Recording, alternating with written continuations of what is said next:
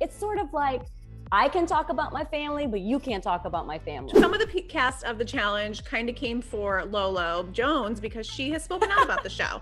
And kind of you guys all not even not even about the show really you guys all kind of came together saying like this is our family leave us alone. Isn't it weird how that happened? It's, it's kind of awesome that you yeah. guys came together like that. Absolutely. No one planned it. No one like talked about it or anything. It kind of just happened that way so yeah, I saw her tweet and I was just like, oh, mm, mm.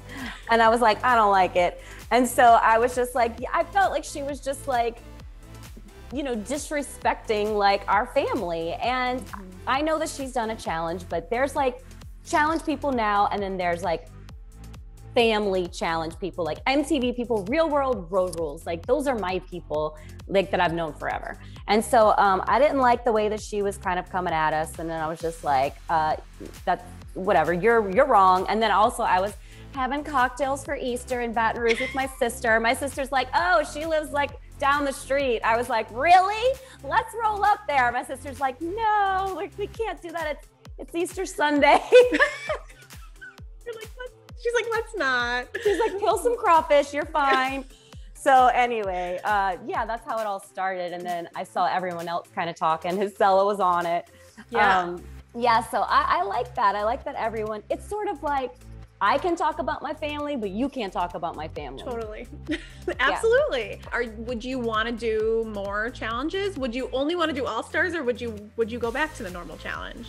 Oof, I, I don't think I would do a normal challenge. The the people there are just not fun. They don't seem fun. They don't they seem kind of nasty. Like they, they're not close. I, I would like to do one with like, you know, the all-star people, like OG kind of people.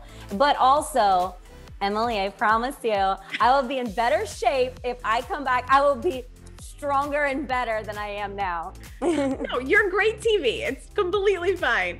Um, and then who who do you want to see if you do do another All Stars? Who would you want to come that couldn't come this time around? Coral. I'm like, where was she? Uh, Coral. I loved. Well, actually, she and I butt heads a lot. I yeah, will tell you, but. I enjoy watching Coral on television. Like, I, I, don't know if I would enjoy doing a show with her, but I would love to see her.